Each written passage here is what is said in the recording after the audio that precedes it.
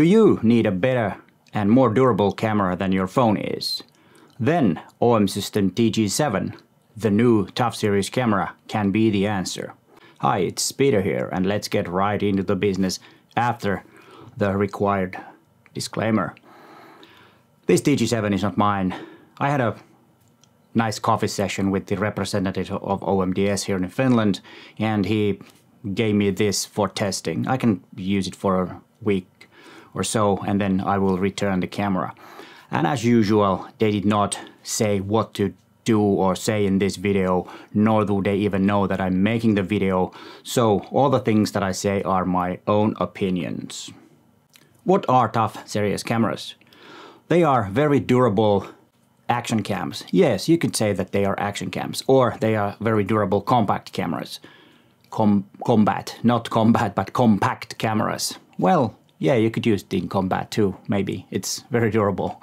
And it can take a lot of abuse, and you could say that they're action cams, and they could replace GoPro or DJI Action or similar action cams, even though they are slightly different. They are more like real cameras compared to the GoPro, for example. But you could, you know, replace your action camera with this one. And TG7 also has a whole system around it. It has a lot of interesting accessories, wide angle lens uh, adapters, such. And then one interesting thing is the new uh, lens hood, not lens hood, but the lens cap that is, you know, you just open it by clicking the or turning the, the front of the lens, uh, lens cap.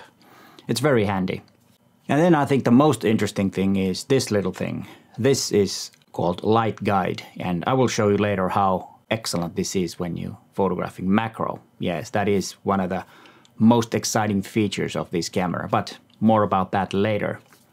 And before we get into a little bit of the specs of the camera, let's look what's new compared to TG7, uh, I mean TG6. I'm a bit rusty this early morning that I'm making this before going out and do some photo shoots. It's too early for me, I guess. Enough of that.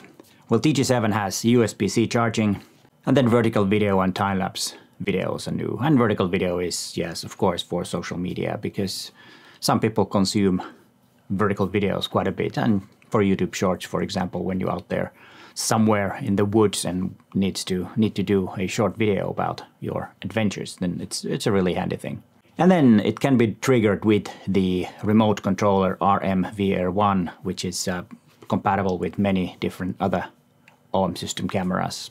Quite handy way of remotely, you know, uh, triggering the camera. You can use OiShare app too, but if you're out there, you might not want to take your phone out. You, you can just, has, just have this small little thing and trigger the camera. Uh, very handy.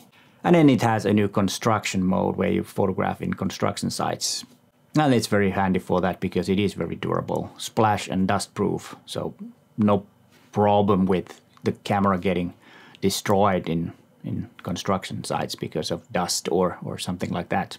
And other useful specs are Pro Capture and it has built-in GPS and an electronic compass. So it's a very versatile tool if you're doing a lot of adventure things and want to photograph your, your adventures. And then the other specs. It can take 100 kilograms of pressure, so no matter if you step on it, doesn't matter, it will still work, no, no harm to the camera.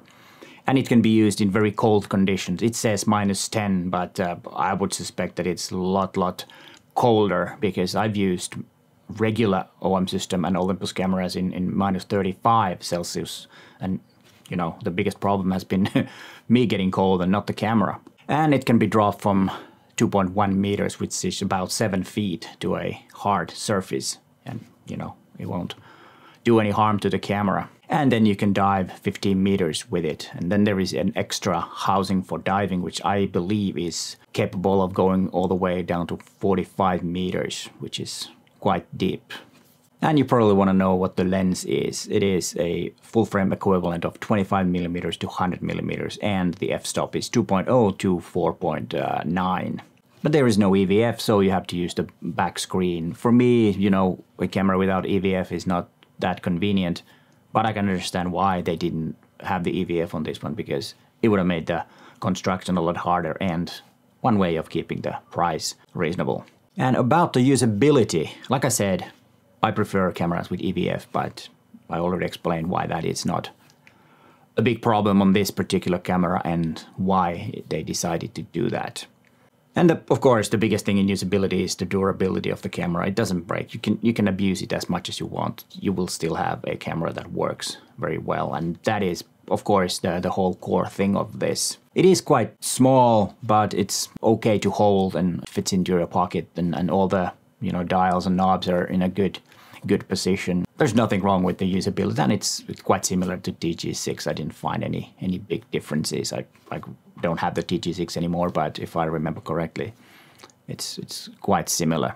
And then the image quality, of course, is something that you might be interested because you know it is an important part of a camera. I didn't have that much time to test this camera, but I didn't find any problems with the image quality. And, and you've seen a few images made with this, and here are some more nothing special about the photograph itself. It's merely just to show you what the image quality is. And then the interesting macro feature, which I think is one of the most exciting things on this. When you're using this light guide, you put it in front here and then you put it on macro mode and there is a LED light that will light the light guide like this. It's kind of like a ring ring light around the, the lens. But the big thing is here that you can stick the lens against the surface. The closest focusing distance is one centimeters from the back of the lens. So you can stick the, the, the camera to different surfaces and, and see what, the, for example, a wooden thing looks like when it's photographed really close. You would not believe how many holes there are in things that you think that are totally solid. But yeah, it's an interesting way to explore the world to a totally new way. And I've had a lot of fun with the TG6 back in the day when I had one for, for a few months to, to photograph and test. And then now with this one, unfortunately, a short time. But anyways, it was a lot of fun to, to do these images and, and see what the world looks like from, I don't know, the eye of an ant or fly, maybe. I don't know if they can see this close. But anyway, you know what I mean. And, and you see the photographs. And then who is it for? Well, I would suggest that anybody who needs a very durable camera and go outdoors and do adventures and want to photograph underwater, maybe that's, that's the perfect, probably the best on the market, just out of the box underwater camera. And of course, this is very good for kids. You don't have to worry about they drop the camera and, you know they can play around and have fun and you know even photograph underwater and whatever they like to do, and play around with the cameras. They're very create, very creative because they don't know the rules, what what's proper things to, and how you are supposed to photograph. So it's it's a lot of fun learning creativity with the camera like this, and you don't have to, like I said, you don't have to worry about it, you know, smashing the camera at all. And then, you know, like I already said, in constructions, might be a good good camera if you're building a house or you're a construction worker. This could be a great camera to record the the progress of the building and then the price and availability. At the time this video was made and published, the price is 549 euros slash dollars. So it's a quite reasonably priced camera and it will be delivered uh, from 20, 20th of September 2023. And if you're interested in the camera and want to get one, there's an affiliate link in the description for you to use. And as like always, you still pay the same price and I get a small commission and you support my free content on this channel. And if you want to see some more things about the the tough cameras, here is my video about TG6 where I abuse the camera pretty heavily and you will really see how durable it is because this TG7 is as durable, if not even more durable than TG6. But hey, thanks for watching and bye for now.